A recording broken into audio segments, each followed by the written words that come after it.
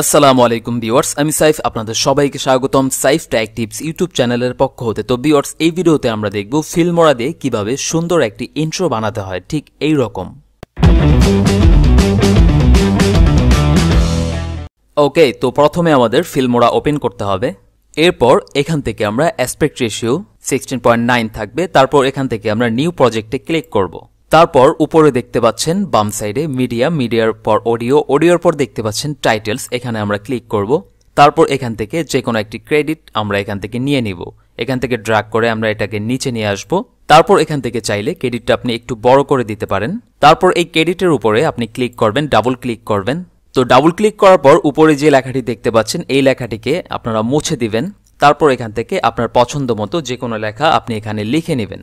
তারপর এই লেখাটিকে আপনি বড় আকার করে দেবেন। তো আমরা এটিকে একশো পঞ্চাশ দিই। তো আমরা যদি চাই এটিকে আরও বড় করতে, সেক্ষেত্রে আমরা এখানে ম্যানুয়ালভাবে লিখে দেব। তো আমরা এখানে তিনশো লিখে দিই। তারপর ওকে প্রেস করব। তারপর এখান থেকে আপনি চাইলে ফন্ট পরিবর্তন করতে পারেন। এখানে আমরা ইম্প্যাক্ট ফন্টটি দেব।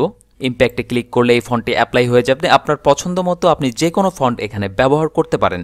তো তারপর এই সেকশনের কাজ শেষ। এখন আমরা নিচে দেখতে পাচ্ছেন অ্যাডভান্স। এখানে ক্লিক করব। এখানে ক্লিক করার পর আমরা এখানে কাস্টমাইজের ডান সাইডে দেখতে পাচ্ছি অ্যানিমেশন এখানে আমরা ক্লিক করব। তারপর এখান থেকে আপনার পছন্দ মতো অ্যানিমেশন দিতে পারবেন। এখানে দেখতে পাচ্ছেন সিনেমা স্টাইল টাইপ রাইটার এখানে বিভিন্ন ধরনের টেক্সট স্টাইল আছে। আপনি চাইলে এখান থেকে অ্যাপ্লাই করতে পারেন। তো আমরা এখান থেকে এই টেক্সটটি সিলেক্ট করব। এটার মধ্যে ডাবল ক্লিক করলেই এই ইফেক্টটি অ্যাপ্লাই হয়ে যাবে। দেখতে পাচ্ছেন কত সুন্দর এই ইফেক্টটি অ্যাপ্লাই হয়ে গিয়েছে। তারপর এটার কাজ শেষ। এই লেখাটি আপনার হোয়াইট রাখবেন এবং ব্যাকগ্রাউন্ডে ব্ল্যাক রাখবেন। এই দুটি কালার ব্যবহার করবেন। আমি আবারও বলছি, এই দুইটি কালার আপনারা ব্যবহার করবেন। লেখাগুলো থাকবে সাদা কালার এবং ব্যাকগ্রাউন্ড থাকবে ব্ল্যাক কালার তারপর আমাদের সব কাজ হয়ে গেলে আমরা এখানে ওকে প্রেস করব। তারপর এখান থেকে আবার ওকে প্রেস করব। তারপর এই লেখাটিকে আমরা এক্সপোর্ট করব। এক্সপোর্ট করার আগে আপনি যদি চান, আপনার এই ট্যাক্সটিকে আপনি ছোট বড় করতে পারবেন। তো আমরা এটাকে এতটুকুই রাখলাম। তারপর এখান থেকে আমরা এটিকে এক্সপোর্ট করব। এক্সপোর্টে ক্লিক করার পর এমপি ফোরে ডিফল্টভাবে ক্লিক করা থাকে। তারপর এখান থেকে আপনার ভিডিওর টাইটেল দিতে পারেন। আমরা এখানে ফাইল ওয়ান লিখছি। তারপর এখান থেকে আপনি চাইলে আপনার যেই সেভ লোকেশনটা আছে, কোথায় সেভ হবে আপনার এই ভিডিওটি সেটা আপনি এখান থেকে চাইলে সিলেক্ট করতে পারেন। তারপর এখানে রেজুলেশন আপনি ফুল এইচডি দিবেন। তো আমরা এখান থেকে সেটিং অপশনে ক্লিক করব। সেটিং অপশনে ক্লিক করার পর আমরা এখান থেকে বেস্টে ক্লিক করে দেব। বেস্টে ক্লিক করার পর আমরা এখান থেকে কেবিপিএসটা তিন হাজার করে দেব। যেন এটা এইচডি কোয়ালিটিতে এক্সপোর্ট হয়। তারপর এখান থেকে আমরা ওকে প্রেস করব। তারপর এখান থেকে আমরা এক্সপোর্টে ক্লিক করব। তো আমরা এই ফাইলটিকে ভিডিও আকারে এক্সপোর্ট করব। তো আমরা কিছুক্ষণ অপেক্ষা করি এটাকে এক্সপোর্ট হওয়ার জন্য। তো এটা এক্সপোর্ট কমপ্লিট হয়ে গেছে, আমরা এটাকে ক্লোজে ক্লিক করব। তারপর এটিকে আমরা কেটে দিব।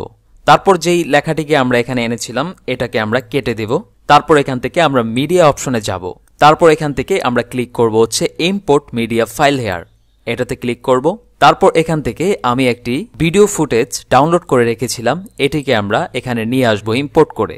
তারপর এখান থেকে আমরা ইএসসি ক্লিক করব। যদি আপনার ম্যাচ টু মিডিয়া চায়, তাহলে আপনি এটাকে ওকে করে দিবেন। এই ফুটেজটি আমি পিক্সাবে থেকে নিয়েছিলাম।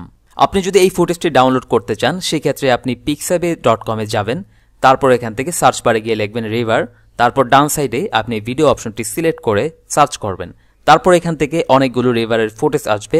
আপনি ওখান থেকে যে কোনো ভিডিও ফুটেজ ফ্রিতে ডাউনলোড করতে পারবেন কোনো রকম কপিরাইট ছাড়া। এই ভিডিও ফুটেজ ইম্পোর্ট করার পর আমরা এখান থেকে আরেকটি ফাইল ইম্পোর্ট করব, যেটা আমরা এক্সপোর্ট করেছিলাম কিছুক্ষণ আগে ওই লেখাটি। এখান থেকে আমরা ইম্পোর্ট মিডিয়া ফাইলে যাব। এটা শর্টকাট কি হচ্ছে? কন্ট্রোল আই এখানে ক্লিক করলেও আমরা ইম্পোর্টে যেতে পারব। তাছাড়াও এখানে যদি আমরা রাইট বাটনে ক্লিক করি ইম্পোর্ট বাটনটি এসে পড়বে। আমরা এখানে ক্লিক করেও আমরা ইম্পোর্ট করতে পারব। তো আমরা ডকুমেন্টে যাব। আমি ডকুমেন্টে ওই টেক্সট ভিডিওটি আমি এখানে এক্সপোর্ট করেছিলাম। তো আমরা ফিল্মোরা নাইনে যাব। আপনি যেখানে এক্সপোর্ট করেছিলেন সেখানে যাবেন। আমরা আউটপুটে এক্সপোর্ট করেছিলাম এর জন্য আমরা আউটপুটে যাব। তারপর এখান থেকে ওই ফাইলটি এখান থেকে ইম্পোর্ট করব। ইম্পোর্ট করে ফিল্মোরাতে নিয়ে আসব। তারপর এখান থেকে যে ভিডিও ফুটেজটি এটাকে টান দিয়ে আমরা নিচে নিয়ে আসব। তারপর এই এখানে ম্যাচ টু মিডিয়াতে আমরা ক্লিক করব। তারপর এখান থেকে যে আমরা টেক্সট ভিডিওটি এক্সপোর্ট করেছিলাম, সেটা আমরা এটার উপরে নিয়ে আসব। নিয়ে আসার পর আপনি যদি চান আপনার ভিডিওকে আপনি ছোট বড় করতে পারবেন, এখান থেকে আপনি এটাকে কেটে এতটুকু নিয়ে আসতে পারেন টেক্সটের বরাবর। তাছাড়াও আপনি যদি চান এটাকে স্পিড বাড়াতে, সেক্ষেত্রে এই ভিডিওর উপর ক্লিক করবেন, তারপর এখানে যাবেন, এখানে দেখতে পাচ্ছেন স্পিড, এখানে ক্লিক করতে হবে। তারপর এখান থেকে আপনি চাইলে কাস্টম স্পিডে দিয়ে এখান থেকে আপনি স্পিড সিলেকশন করতে পারেন। তো আমি এখান থেকে সিলেক্ট করব না, আমি এখান থেকে স্পিডে ক্লিক করে এখানে দেখতে পাচ্ছেন ফাস্ট, এখান থেকে আমি এই ট্যাক্স করে দিব। এই টেক্সট করলে দেখতে পাচ্ছেন অনেকখানি স্পিড বেড়ে গেছে এবং ভিডিওর লেন্থগুলো কিন্তু কমে গিয়েছে। তো আমরা এটিকে আবার একটু ছোট করে নিব। এই টেক্সটের ভিডিওর সমান বরাবর। তারপর আমরা এটাকে ছেড়ে দিব। এরপরের কাজ হচ্ছে উপরের যে ভিডিওটি যে টেক্সট ভিডিওটি এটার মধ্যে আমরা ডাবল ক্লিক করব। তারপর এখান থেকে কম্পোজিটিং এ রাইট অ্যারোতে আমরা এখানে ক্লিক করব। তারপর এখানে দেখতে পাচ্ছেন ব্ল্যান্ডিং মোড নর্মাল দেওয়া আছে। আমরা এখানে ক্লিক করব। তারপর এখান থেকে আমরা মাল্টিপ্লে ক্লিক করব। মাল্টিপ্লে ক্লিক করার পর এখান থেকে আমরা ওকে প্রেস করব। এখন যদি আমরা ভিডিওটি প্লে করি, তাহলে দেখতে পাচ্ছেন চমৎকার একটি ইন্ট্রো ফিল্মোরা দিয়ে তৈরি হয়ে গিয়েছে। এখন আমরা ভিডিওটি প্লে করব। তো দেখতে পাচ্ছেন খুব সুন্দর একটি ইফেক্ট কিন্তু তৈরি হয়ে গেছে ফিল্মোরা দিয়ে। তো আমরা এই লেখাটিকে বড় করতে হলে এই ভিডিওর উপরে ক্লিক করতে হবে। তারপর এখান থেকে এটিকে ড্র্যাগ করে একটু বড় করে দিব আমরা এই লেখাগুলোকে। এই ভিডিওটি বড় করে দিলেই লেখাগুলো বড় হয়ে যাবে। আমরা এটিকে আরেকটু বড় করে দিই। তো বড় করে দেওয়ার পর, ঠিকঠাক মতো অ্যাডজাস্ট করার পর, আপনি চাইলে এখানে সাউন্ড ব্যবহার করতে পারেন। তো আমরা এখানে অডিও ফাইলে যাব। অডিও ফাইলে গিয়ে আমরা এখান থেকে এই সাউন্ডটি নিয়ে নিচে নিয়ে আসব। তাহলে এই সাউন্ডটি অ্যাড হয়ে যাবে। তো আমরা এই সাউন্ডটিকে কেটে দেব ওই ভিডিওর বরাবর। এতটুকু কেটে দিয়ে আমরা এই সাউন্ডের উপরে ডাবল ক্লিক করব। তারপর এখান থেকে ফেড আউটটি আমরা নাইনটি বা এইটটি যে কোনো একটি বরাবর নিয়ে এসে আমরা এটাকে ওকে করে দেব। এই ফেড আউট করার কারণ হচ্ছে সাউন্ডটা আস্তে আস্তে বন্ধ হবে। হঠাৎ করে সাউন্ডটা বন্ধ হলে কিন্তু ইন্ট্রোর সাউন্ডটা শুনতে ভালো লাগবে না। এখন আমরা ভিডিওটি প্লে করে দেখি কেমন হয়েছে।